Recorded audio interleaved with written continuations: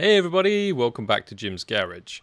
This video is going to be a bit of a departure from my usual home lab stuff, but I am going to be using it for a home lab application.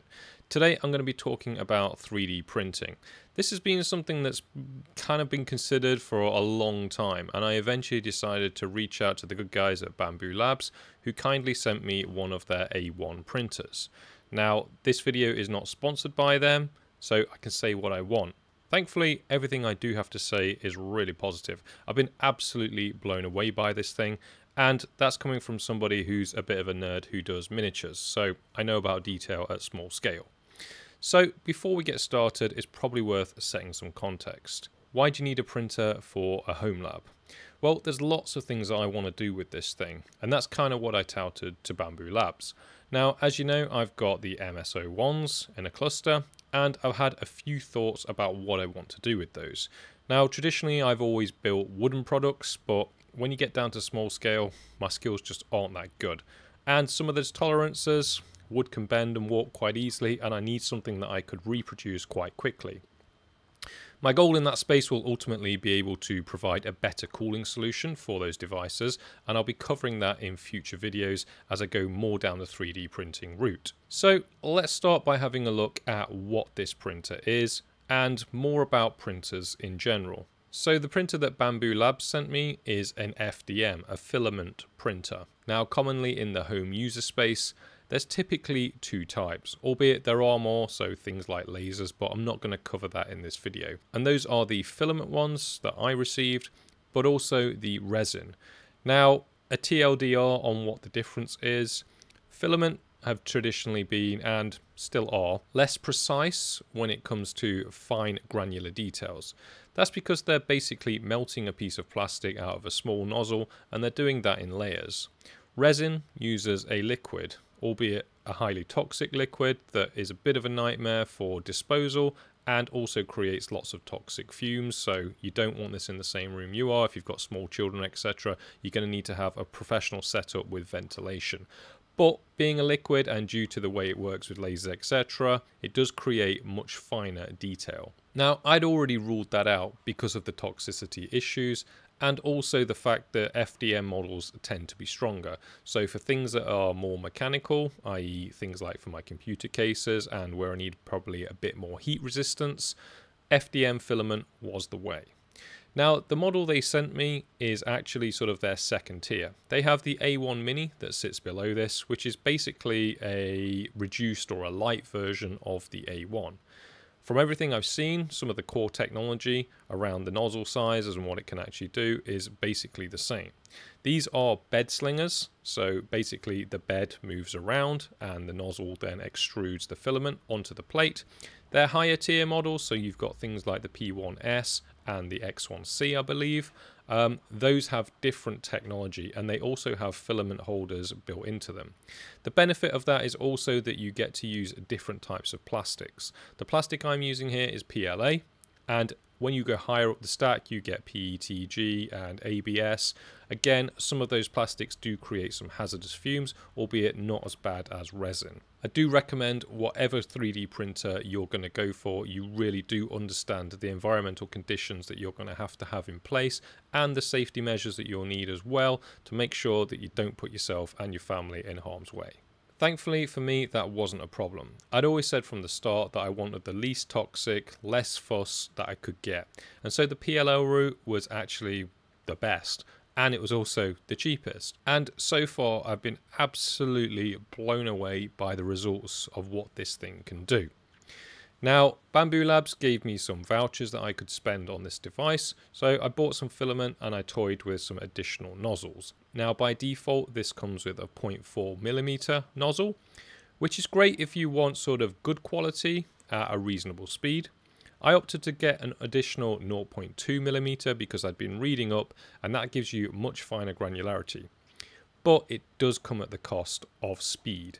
Basically, the smaller the nozzle and critically the smaller the layer height, i.e. this thing's built up in layers and you can see some examples of how that's done on screen. The more layers, obviously the more passes from the head, therefore it's going to take longer, but you get more detail.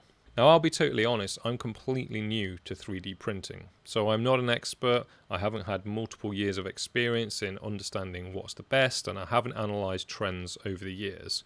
But what I can say is if you're in the market for a 3D printer, definitely, definitely check this out.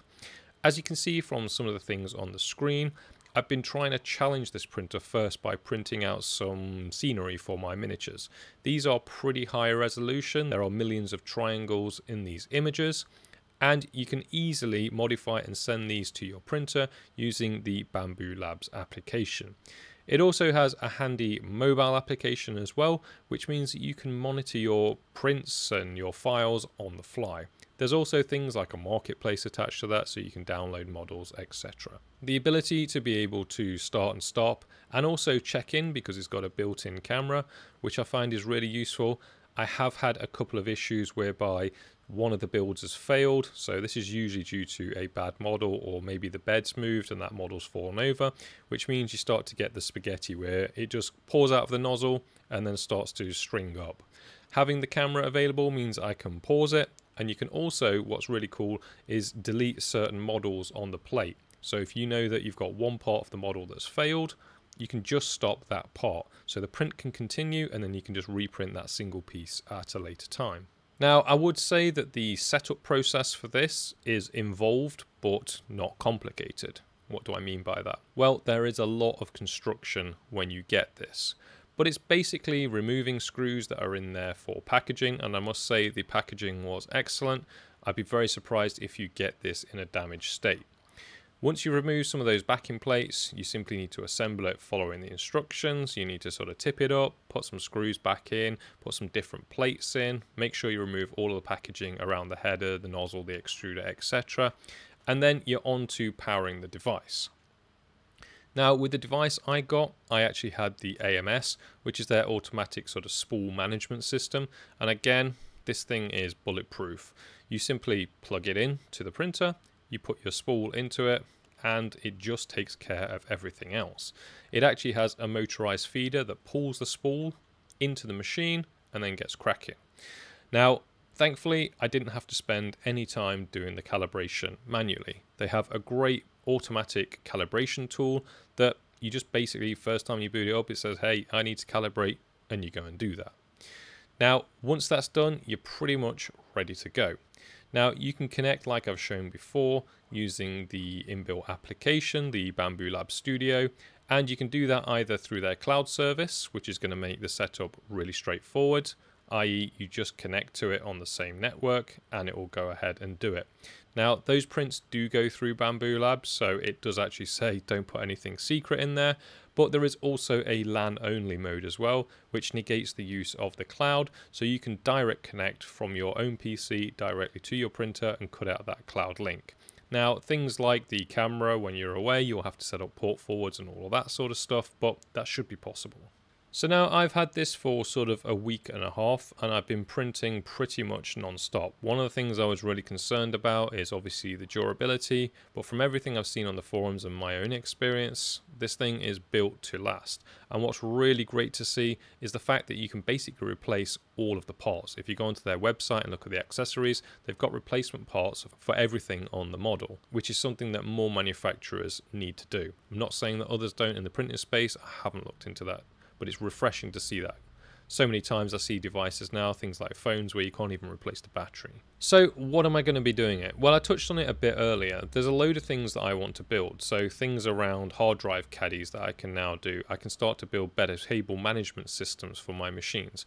I want to be able to reorientate my MS-01. I want to be able to rebuild a case so that I can actually put a proper Noctua fan on the side of it and also some additional sort of cable management clip kind of things that I want to use to be able to tidy up my server rack. So I'm going to be covering those in future videos and I'd love to be able to put those out to the community because I know things like the MS-01 are a popular device and it would be great if we could get some collaboration on that. So I'm going to draw a line on the video there now. If you have any questions about this device, I'm happy to try and answer them. Drop a comment below. As I said, I've had this now for almost two weeks. Um, so I'm no by no means an expert, but I have been using this pretty solidly. I think if you're in the marketplace for a printer on a budget, this is definitely the place to check out. Let me know if you're a bit of a 3D printing wizard and what your thoughts are. Really keen to see what other people have got doing with this device specifically, if there's anything I should know about it. But anyway, I'll catch you on the next one. If you like this video, give it a thumbs up, hit that subscribe, and I'll see you on the next one. Take care, everybody.